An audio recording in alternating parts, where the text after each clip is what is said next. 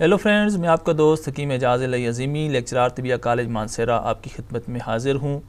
आज से हम फ़िज़ियालोजी यानी मुनाफ़ुल अज़ा या वज़ाइफ़ुल अबदान के लेक्चर्स का आगाज़ कर रहे हैं।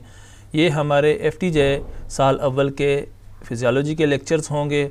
इनमें हम फ़िज़ियालोजी के ऊपर डिटेल से डिस्कस करेंगे। सिलेबस के मुताबिक जो हमारा नेशनल कौंसल फ़ार तिब का सिलेबस है, उसके मुताबिक हम इन लेक्चर्स को लेकर आगे बढ़ेंगे। मुझे उम्मीद है आप इन लेक्चर से भरपूर फ़ायदा उठा सकेंगे। ये हमारे सब्जेक्ट के लिहाज से, हमारे शोबा के लिहाज से तिब की से, वाबस्तगी के लिहाज से नहायत आम लेक्चर्स होंगे चूँकि हमारा वास्ता इंसानी जिसम से पड़ता है, इंसानी जिसम के अफ़ाल से पड़ता है, इंसानी जिसम के अफ़ाल की ख़राबी को दुरुस्त करने के लिए हमें तगो दो करनी पड़ती है। इसलिए हमें इंसानी जिसम के तमाम अज़ा के तमाम अफ़ाल का पता होना चाहिए। ये अफ़ाल हम फ़िज़ियालोजी के इल्म में ही सीखते हैं। तो चलिए आगे लेक्चर की जानब बढ़ते हैं और डिटेल से स्लाइड्स के ज़रिए फ़िज़ियालोजी को सीखने के लिए कोशिश करेंगे। ये हमारा इंट्रोडक्टरी लेक्चर है। इस लेक्चर में हम फ़िज़ियालोजी की डेफिनेशन के बारे में आपको बताएँगे और कुछ बुनियादी मालूम आप तक पहुँचाने की कोशिश करेंगे। सबसे पहले हमें फ़िज़ियालोजी की डेफिनेशन का पता होना चाहिए कि फ़िज़ियालोजी क्या चीज़ है या मुनाफ़ुल अज़ा या वज़ाइफ़ुल अबदान क्या चीज़ है। तो सामने अगर आप स्क्रीन पर देखें तो यहाँ पर आपको फ़िज़ियालोजी की डेफिनीशन दिखाई गई है कि ये साइंस की वो शाख है जो जिसमें इंसानी के अज़ा के अफ़ाल के बारे में हमें मुकम्मल मालूम फ़राहम करती है। इसमें ज़िंदा जिसम के तमाम अफ़ाल शामिल होते हैं, जैसा कि खलियात के अफ़ाल टिश्यूज़ के अफ़ाल और अज़ा यानी आर्गन्स के अफ़ाल शामिल होते हैं। इन अफ़ाल में जिसम या अज़ा में पैदा होने वाली तबी और कीमियावी तब्दीलियों का मताल और उन तब्दीलियों की बिना पर होने वाले ज़िंदगी के अमाल व वज़ाइफ की वजात शामिल होती है। यानी जिसम और अज़ा के तमाम मकैनिकल और केमिकल अफ़ाल के बारे में हम फ़िज़ियालोजी के इल्म में सीखते हैं। चूँकि ये इल्म इल्म तिब का मौजू जिसमें इंसानी है, इसलिए जिसमें इंसानी की बुनियाद को समझना, जिसमें इंसानी के तमाम अज़ा के अफ़ाल को समझना हमारे लिए नहायत ज़रूरी है। तिब के तालब इलमों के लिए ये लाजम है कि वो एनाटोमी और फ़िज़ियालोजी यानी तशरीअबदान और वज़ाइफ़ुलअबदान से मुकम्मल तौर पर आगाह हों। जिस तरह हम एनाटमी यानी इल्म तशरीअबदान में इंसानी जिसम के अज़ा की तशरी के बारे में सीखते हैं, उनकी बनावट और साख्त का इल्म सीखते हैं, इसी तरह से फ़िज़ियालोजी या मुनाफ़ुल अज़ा या वज़ाइफ़ुलअबदान की जो शाख है, इसमें हम उन्हीं अज़ा के तमाम अफ़ाल और वज़ाइफ के बारे में मालूम हासिल करते हैं। फ़िज़ियालोजी का इल्म सेहत की हालत में ज़िंदा अजसाम के अज़ा के अफ़ाल से आगाही फ्राहम करता है, क्योंकि ज़िंदा अजसाम के अफ़ाल ही के ज़रिए हम जिसम इंसानी के दुरुस्त अफ़ाल से आगाही हासिल कर सकते हैं और तबी और गैर तबी अफ़ाल के दरमियान तमीज़ कर सकते हैं। फ़िज़ियालोजी के हवाले से बहुत सारे स्टैंडर्ड्स पहले से तयशुदा हैं। हम उन्हीं स्टैंडर्ड्स को फॉलो करते हैं। इंसानी जिसम के अज़ा अंदरूनी अज़ा के अफ़ाल, चूँकि हमें ज़ारी आँख से नज़र नहीं आते तो इन अज़ा के अफ़ाल को सही तरह से जांचने के लिए, इनका मुशाहिदा करने के लिए, इंसानी जिसम में होने वाली केमिकल तब्दीलियों का जिसम पर असरानंदाज होने का जो मुशाहिदा है, उसको जानने के लिए बहुत सारे लेबॉर्ट्री टेस्ट करवाए जाते हैं, जिनसे हम अंदरूनी अज़ा के अफ़ाल को जांचते हैं।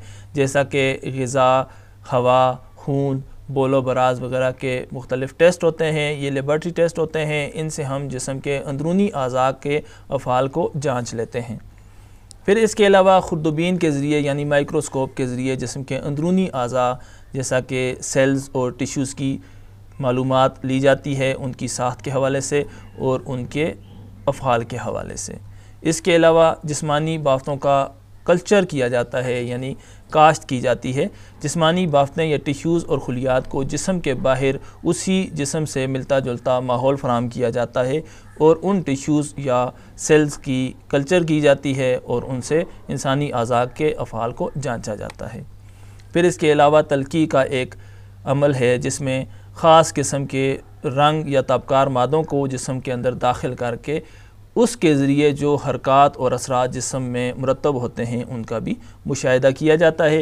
ये सारी चीज़ें हमें फ़िज़ियालोजी के इल्म में पता चलती हैं। यानी ये मुख्तलिफ़ लेबार्ट्री टेस्ट हैं, जिनके ज़रिए हम अंदरूनी अज़ा के अफ़ाल को जाँचते हैं। इसके अलावा भी बहुत सारी चीज़ें हैं, जैसा कि केमोग्राफ़ी है ई सी जी है ई ई जी है एम आर आई एक्सरे वगैरह C T scan C T brain वगैरह बहुत सारे टेस्ट हैं, जिनके ज़रिए जिसम के अंदरूनी अज़ा के अफ़ाल को समझने में आसानी होती है और ये टेस्ट मुख्तलिफ़ मराहल में इंसानी जिसम के अंदरूनी अज़ा के अफ़ाल को जाँचने के लिए इस्तेमाल में लाए जाते हैं और इससे अंदरूनी अज़ा के जाँच पड़ताल में आसानी होती है। जब हम फिज़ियालोजी की तरफ़ आगे बढ़ेंगे, इसके डिटेल लेक्चर का मुताल करेंगे तो हमारा वास्ता बहुत सारी बेसिक टर्मिनोलॉजी से रहेगा।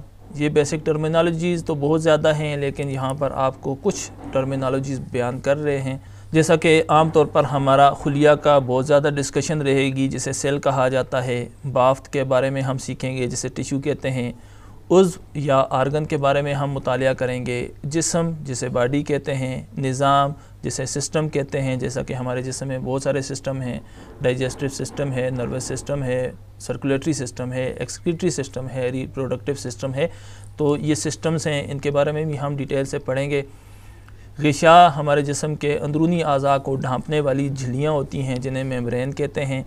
अक्षा ये हमारे विसराज हैं। हमारी जिसम में पाई जाने वाली मुख्तलिफ़ कैविटीज़ हैं, जिसके अंदर जो अज़ाब पाए जाते हैं, उन्हें अक्षा कहा जाता है। जैसे कि एबडामिनल कैविटी है, हमारी थोरेसिक कैविटी है तो उनके अज़ा को या उस हिस्सा को अक्षा कहा जाता है। फिर अरकान का तो हमारे तिब से बहुत गहरा ताल्लुक़ और वास्ता है।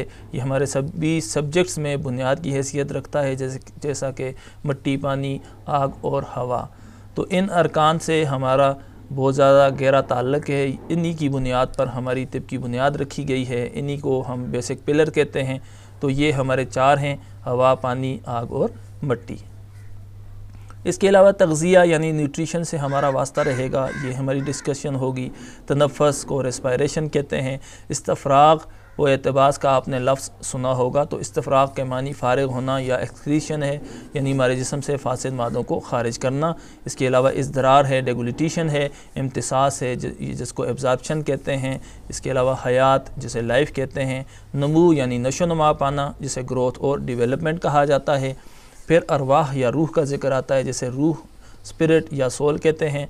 ये हमारे जिसम में तीन अरवा का ज़िक्र मिलता है। हमारी तबी कुतब में और इसी पर हम बात करते हैं। रूह हैवानी, रूह नफसानी और रूह है तभी तो इन तीन अरवाह से बहुत ज़्यादा गहरा हमारा रिश्ता है। इनको यहाँ हम डिटेल में आगे पढ़ेंगे भी, फिजियालॉजी में भी इनका बार बार ज़िक्र आएगा और दीगर जो हमारे कुलियात की किताब है उसको भी हम जब स्टडी करेंगे तो उसमें भी इन अरवा को डिटेल से डिस्कस करेंगे। फिर तश्कील पाना जिसे एनाबोलिज़म कहा जाता है और तफरीक पाना जिसे कैटाबोलिज़म कहा जाता है। इसके हवाले भी डिस्कशन होगी, यानी हमारा जो डाइजेस्टिव सिस्टम है, जब गज़ा का ज़िक्र आएगा डाइजेशन का ज़िक्र आएगा तो उसमें ये एनाबोलिज़म और कैटाबोलिज़म का भी ज़िक्र आएगा।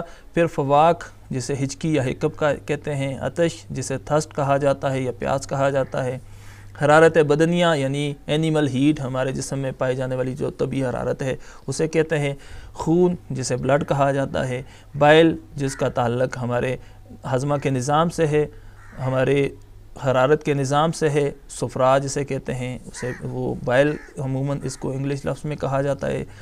फिर बलगम है जिसके लिए म्यूकस का लफ्ज़ यूज़ किया जाता है, बुजाक या थूक है जिसे स्पूटम कहते हैं और अंसर जिसे एलिमेंट कहते हैं, क्योंकि एलिमेंट बहुत ज़्यादा दरियाफ्त हो चुके हैं। ये एलिमेंट्स बहुत सारे कायनात में मौजूद हैं जिनमें से एक सौ नौ, दस के लगभग दरियाफ्त हो चुके हैं। अभी इनकी मज़ीद दरियाफ्त जारी है और इंसानी जिसम में भी इनमें से बहुत सारे एलिमेंट्स पाए जाते हैं। अब इंसानी जिसम की केमिकल कंपोजिशन क्या है? यानी कौन से कीमियाई अज्जा हैं जिन पर इंसानी जिसम मुश्तमिल है?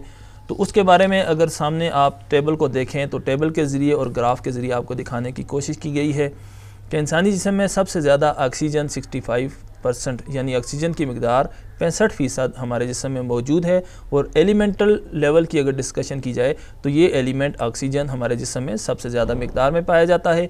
फिर कार्बन है, इसकी 18 फ़ीसद हमारे जिसम में मौजूद है। हाइड्रोजन 10 फ़ीसद, नाइट्रोजन तीन फ़ीसद, कैल्शियम दो फ़ीसद, फास्फोरस एक फ़ीसद, पोटाशियम इशारे तीन पाँच फ़ीसद, सल्फ़र इशारे दो पाँच फ़ीसद क्लोरीन इशारिया एक पाँच फ़ीसद, सोडियम इशारिया एक पाँच फ़ीसद, मैग्नीशियम इशारिया सिफर पाँच फ़ीसद, लोहा जिसे आयरन कहते हैं इशारिया सिफर सिफर चार फ़ीसद।